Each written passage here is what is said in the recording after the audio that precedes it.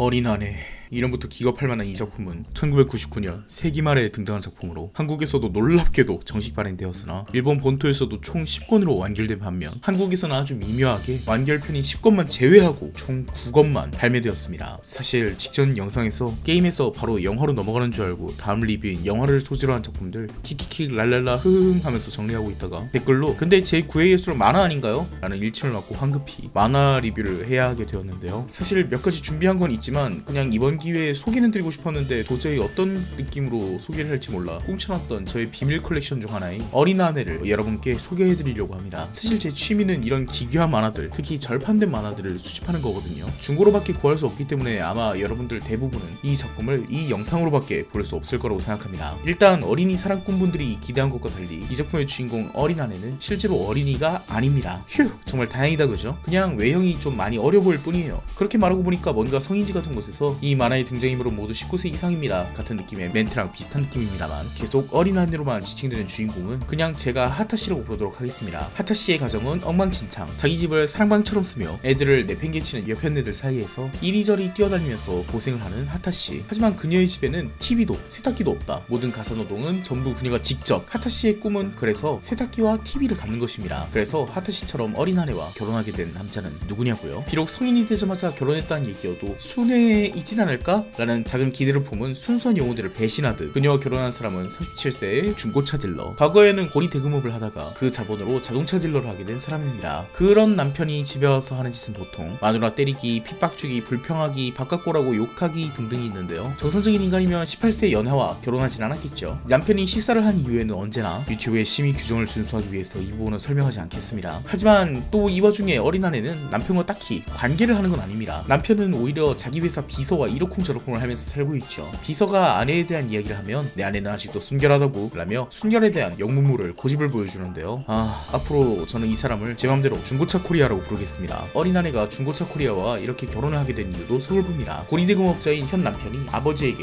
돈을 빌려줬었는데 도저히 갚을 형편이 되지 않자 딸이 졸업하자마자 시집을 보내는 것으로 그 빚에 변제를 하는 계약을 해버린 거예요. 이 작품의 기본적인 설정은 이렇고요. 작품의 전개는 다음과 같습니다. 앞으로 어떤 전개를 상상하든 그 이상을 보게 될 테니 절대 당황 하지 마세요. 첫째로 중고차 코리아는 하타 씨를 엄청나게 가스라이팅을 합니다. 돈을 벌어오라고 강요하기도 하고 남편의 일을 대신하기도 하죠. 그런데 또 이 하타 씨도 상당히 모자란 인물이라 그 가스라이팅에 하나하나 당해줘요. 남편이 너는 쓸모없는 인간이야? 라고 끊임없이 세뇌를 하자 진짜로 하타 씨는 자기가 쓸모가 없다며 남편을 위해서 이런 일이라도 해야 된다며 온갖 행동을 다 합니다. 그런데 하타 씨에게도 재능이 있었으니 그건 바로 어린 시절부터 봐오던 만화. 만화만큼은 무능한 자신이라도 그릴 수 있다며 TV도 세탁기도 없는 집구석에 가전을 놓고 싶다는 일념 하나로 소녀 만화지에 자신의 단편 하나를 투고하고 그것이 1등상을 받아 무려 100만엔의 상금을 받게 되는데요. 이 무렵 중고차 코리아는 자기 중고차 회사가 유동성 문제로 부도 위기에 처해 딱 100만엔이 부족한 나머지 이곳저곳에서 현금을 빌리러 다니고 있었어요. 이때 하타 씨가 자신의 대상 수상을 바라며 100만엔을 탔으니 가전을 사자고 말하자 남편이 그 돈을 몽땅 달라고 말하는데 하타 씨는 가전을 사고 싶던 자신의 꿈이 무너져서 좌절하게 되죠. 하지만 놀라지 마세요. 중고차 코리아는 하타 씨의 마음을 돌려서 설득합니다. 그 설득의 방법이란 바로 도게자. 아내에게 도게자를 하는 것 한 번으로 하타 씨는 남편은 우리 집을 살려줬으니까 라며 자신이 받은 상금을 모두 지 남편이랑 놀아나는 비서 월급으로 주게 되는데요. 이렇게 이야기가 전개되어서 해피엔딩이냐고요? 아니요. 이 앞으로도 계속 남편은 아내를 똑같이 대하고 심지어는 아내에게 이런 장점이 있으니 지가 돈이 떨어질 때마다 마누라에게 만화를 그리라고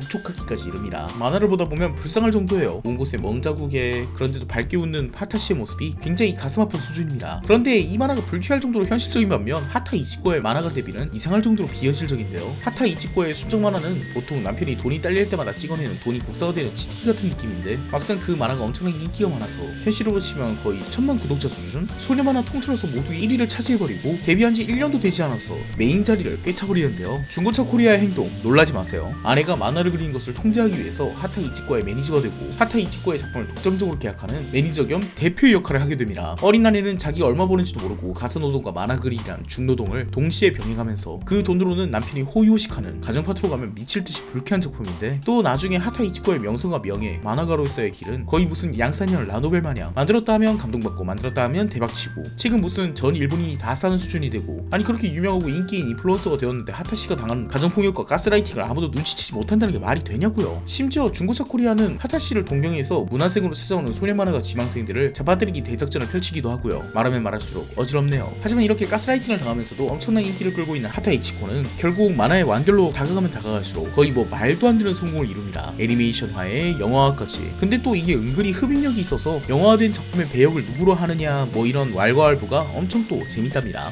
그래서 이 작품의 의의가 뭐냐고요? 아, 일단 딱히 없긴 한데. 어, 만화가가 주인공인 만화의 태반은 작가가 아는 게 만화밖에 없어서 대충 만화를 갖다 놓는 것 같다 정도? 하타이치코가 다른 게 아닌 만화로 성공한다는 것은 작가가 생각하기에 유일한 성공 루트라서 그렇게 묘사하고 있는 것이 아닌가 라는 나쁜 생각을 좀 해보고요. 왜냐면 이 작품의 작가 모리타카 유지는 원래 야구 만화를 그리던 사람이라 갑자기 하타 씨가 야구로 성공한다 뭐 이런 건 좀 이상한 일이잖아요. 옛날에 아르티스트를 리뷰하면서도 한 말인데 작품에 만화가 캐릭터가 나오면 작가의 자의식이 마구마구 뿜어져 나와서 굉장히 기분이 별로예요. 네 캐릭터 입 빌려서 마감 시스템 같은 거 불평하지 마. 음, 그 외에 더 의미를 찾아보자면 아무리 일본 만화에 막장 만화가 많다지만 이 정도로 막장이 만화는 드물 뿐더러 그 정도로 막장의 스토리가 한국에서 정식으로 발간되었다는 사실 역시 감동이고 1999년은 낭만의 시대였을까 혹은 야만의 시대였을까에 대해서 이모저모 고민하게 만들어준다 라고 말하고 넘어갑시다. 그냥 오늘은 제 컬렉션 중 하나를 소개하는 시간이었던 걸로 하고요. 앞으로도 이렇게 미묘하게 맞들 때는 제가 소장하고 있는 기괴한 만화들을 소개하는 기괴한 절판 콜렉션을 리뷰하도록 하겠습니다. 오늘 리뷰 진짜 여기까지였고요. 어, 진짜 살면서 처음으로 스토리 얘기만 하고 평론은 안 하고 넘어간 작품 같아요. 예, 뭐 끝까지 봐주셔서 감사, 예, 뭐 감사합니다.